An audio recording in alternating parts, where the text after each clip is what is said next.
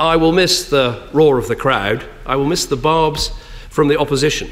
But I will be willing you on. And when I say willing you on, I don't just mean willing on the new Prime Minister at this dispatch box, or indeed just willing on uh, the front bench defending the manifesto that I helped to put together. But I mean willing all of you on, because people come here with huge passion for the issues they care about. They come here with great love for the constituencies that they represent.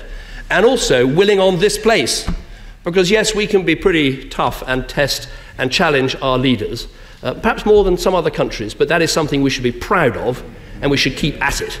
And I hope you will all keep at it, and I will will you on as you do. The last thing I'd say is that you can achieve a lot of things in politics. You can get a lot of things done. And that, in the end, the public service, the national interest, that is what it's all about. Nothing is really impossible if you put your mind to it. After all, as I once said, I was the future once.